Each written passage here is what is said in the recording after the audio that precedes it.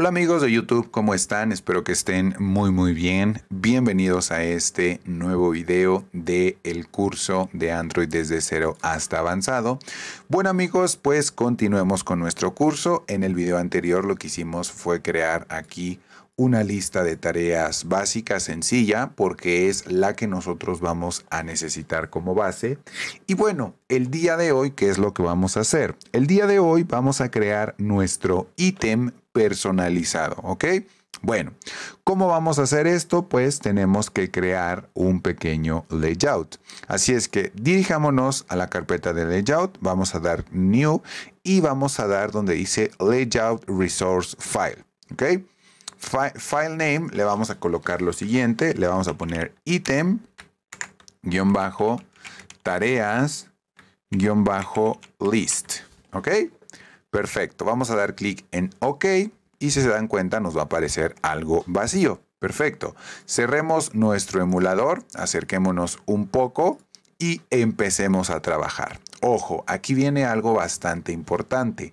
Lo que nosotros vamos a crear aquí, vuelvo a repetir, es nuestra plantilla para cada uno de los elementos que van a estar dentro de nuestra lista. ¿Ok? Bueno, ¿Cómo lo vamos a hacer? Súper fácil. Este constraint layout lo vamos a eliminar, lo vamos a cambiar por un linear layout, ¿va? Entonces vamos a ponerle aquí donde dice constraint layout, lo quitamos y le ponemos un linear layout. Perfecto. Vámonos a diseño, tenemos aquí nuestro linear layout y vamos a empezar a agregar elementos. En este caso lo voy a dejar match parent en ancho y vamos a dejarlo en grab content en alto. Perfecto. Lo que voy a hacer es agregar otro eh, linear layout. Vamos a agregar en este caso un linear layout horizontal. Perfecto. Y a este linear layout lo que yo voy a hacer es separarlo en dos. Primero voy a agregar, a ver, déjenme determinar bien cómo va a estar el diseño. Va a estar, de este lado va a estar una imagen, un nombre y una pequeña descripción. ¿Ok? Perfecto. Entonces vamos a agregar primero que nada un image view. Ahí tenemos un image view. En este caso yo le voy a agregar eh, lo que sea. Vamos a agregarle, creo que por ahí tenía una foto ya agregada en Map. No, solamente tengo la del teléfono. Ok, entonces vamos a agregarle este avatar que tenemos aquí. Perfecto. Y vamos a hacerlo de la siguiente manera. Dentro de este linear layout ya tengo yo un linear layout horizontal y voy a agregar otro linear layout vertical. ¿Va? Perfecto. Este lo voy a pasar a la parte de arriba. ¿Ok? tengo acá mi otro linear layout vertical y aquí lo que voy a hacer es agregar dos textos, uno y dos. Perfecto. Tengo ya dos textos. ¿Ya se dieron cuenta? Ok. No se alcanzan a ver porque ahorita los pesos están divididos, pero ahorita los arreglamos. Por ejemplo, este linear layout que yo tengo aquí, el image view está en wrap content, pero este de acá no. Entonces vamos a poner wrap content y grab content. Ahora sí ya se ve ahí mi image view y los textos. Ahora, estos textos que yo tengo acá van a ser bien interesantes porque les voy a dar un peso igual a cada uno para que ocupen el mismo espacio. Perfecto. Y ahora al de la parte de arriba le voy a dar una gravedad. Vamos a ponerle todos los atributos buscamos la gravedad, gravity, y le vamos a poner center, que se vaya al centro. Y vamos a cambiar también el color. En este caso le voy a decir que va a ser de color negro.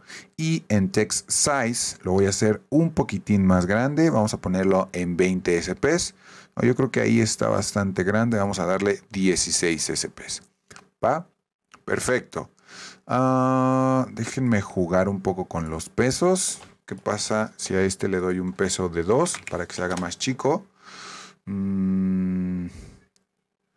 ok, entonces vamos a darle peso de 1 y al de la parte de abajo vamos a darle un peso de 2. Ok, me agrada más esta parte. A este text view que yo tengo en la parte de abajo, es más, al de la parte de arriba, sí le voy a cambiar el tamaño a 20. Perfecto. Y al de la parte de abajo, como ya tiene un peso mayor, le voy a dar en lugar de 14, le voy a dar 16. Eh, no, yo creo que sí le vamos a dejar 14 y nada más cambiamos el color negro para que se vea un poco más fuerte. Aquí lo que voy a hacer es agregar un pequeño padding. No, margin, perdón. Vamos a buscar el layout margin y le voy a agregar solamente 5 SPs a todos, a todos los lados para que se vea un poquito centrado. ¿Va? Ya vieron cómo hay un pequeño espacio entre la imagen y el text view. Ok, esto es lo que yo quería lograr. Perfecto. Ahora, a este vamos a cambiarle su ID y le voy a poner text view name bajo tarea. ¿Va? Refactor. Y al de la parte de abajo, text view bajo desk bajo tarea.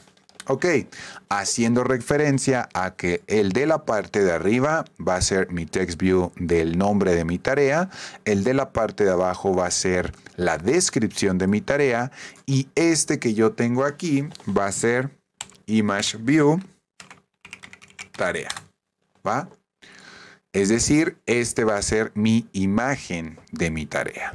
Perfecto. Entonces tengo tres elementos un text view. De hecho, vamos a cambiarle el texto y le vamos a poner tarea nombre. Va. Y el de la parte de abajo le vamos a poner aquí va una pequeña descripción de mi tarea. Listo. Y si se dan cuenta, bueno, el texto ahí se va acomodando dependiendo de lo que vayamos agregando. Entonces, listo. Aquí en lugar de tarea nombre, vamos a ponerlo nombre tarea, para que no parezca que hablamos como Yoda. Perfecto. Pues ya tenemos aquí nuestros elementos y esto que yo acabo de crear aquí, vuelvo a repetir, va a ser uno de los elementos que yo agregue, muy importante, a mi lista, ¿va?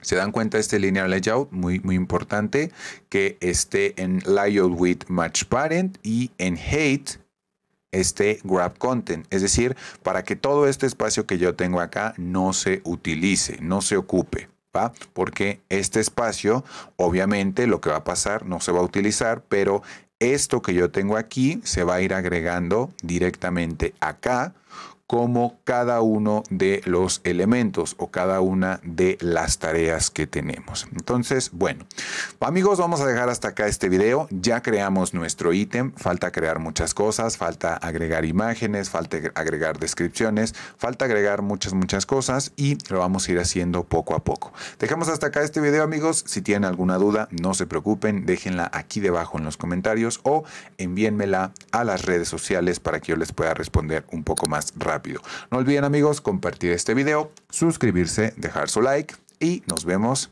en la próxima. Bye.